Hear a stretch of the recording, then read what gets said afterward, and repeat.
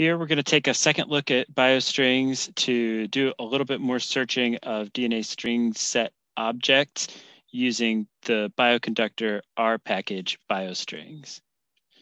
We're going to recap pattern matching in DNA strings and get into sliding window searches to get you uh, a foot in the door on those kinds of operations using bioconductor. At the end of the last video, we had just covered searching for patterns in DNA strings using the match pattern function.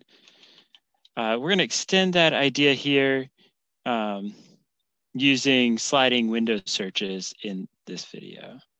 So last time we did something like match pattern, uh, and then you could put in a particular pattern that you're looking for, and the DNA string set object that you want to search and run that. And you can get all the places in the genome where that particular pattern occurs. So seven A's in a row occurs 711 times uh, at all of these positions here.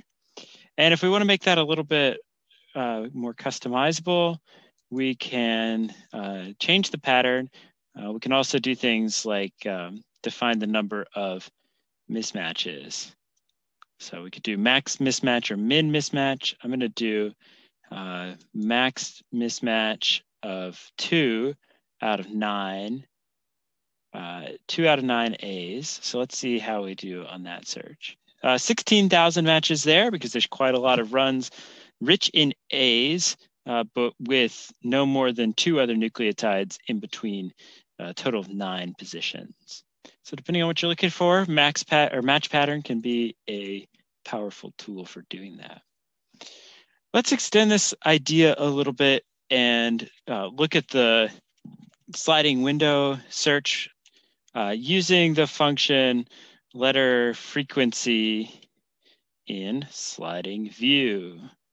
For this one, this one is customizable, uh, but for this example, we're going to look at calculating the frequency of cytosine and guanine in uh, a view of about 100,000 nucleotides. Uh, and uh, we're going to then calculate the difference between C and G. In the last video, we showed that the C and G uh, proportions were about the same across the whole genome. And so what we're looking for here is going to be evidence of guanine depletion. That effect can arise when uh, mutations from G to T occur disproportionately on the single stranded DNA of the lagging strand during replication. So we're going to try this out. Uh, we're going to search and uh, we're going to look for a view width of, let's try it with 100,000 bases. And the letters we're searching for are G and C. And we're going to return these data as proportions from each set. So as prob equals true. It's going to test uh, 5 point or 4.5 million positions all the way up until about 100,000 nucleotides before the end of the uh, genome. Uh, I want to sample this down. Let's see, let's put this into an object. I'm going to call it sliding GC I want to sample this down so the next couple operations go quicker because there's a lot of redundancy in the way we set this up, but it's fast. So, uh, so let's do sample GC equals sliding GC. Uh, and then we're going to use uh, logical subsetting here, sequence from one to the number of rows of sliding GC. Uh, nope, sorry, one using seek. So one comma in row sliding GC and our by is going to be, let's do, uh, let's do every 10,000 nucleotides. And then uh, comma after the parentheses, so that's the row subsetting.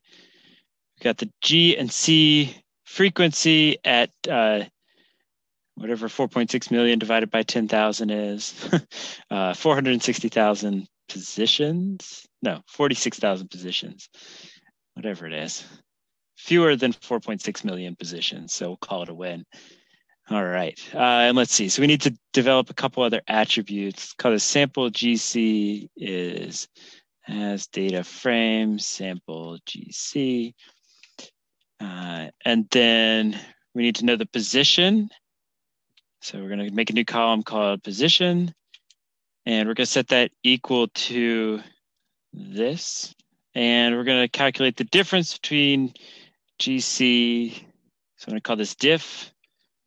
Uh, we're going to, that's going to be the difference between G's and proportion C's. So let's look at that. Head sample GC. There we go. All right. So, uh, you know, across the whole genome, we know the difference between G's and C's is pretty close to zero.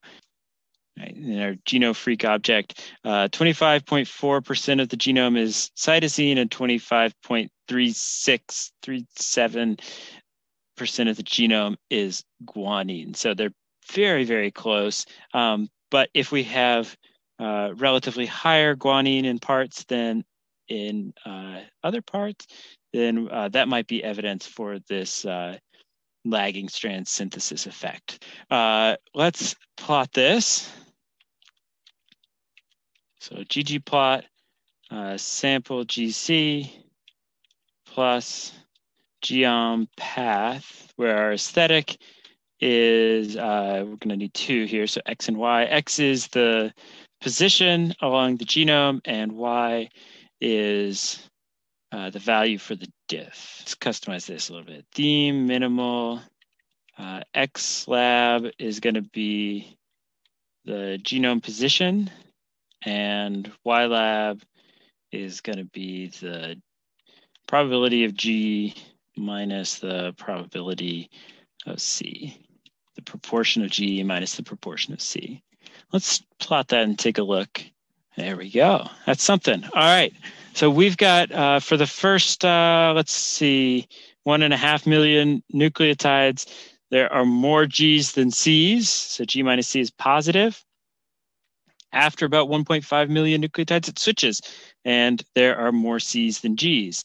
So this segment in the middle from about 1.5 to 3.8 million uh, nucleotides into this sequence, the way the reference is written, is different. Uh, and this might be evidence of that lagging strand effect, taking effect on just half of this genome. So we might search on one end or the other of this to look for the origin and termination uh, sites in E. coli. Uh, e. coli has a nice pattern like this. Not all bacteria do, but again, this is extendable to searching for all different kinds of patterns in your genome. So depending on what you're looking for, there are probably tools in Bioconductor to let you drill right into that. That's it for this video. Thanks for watching once again.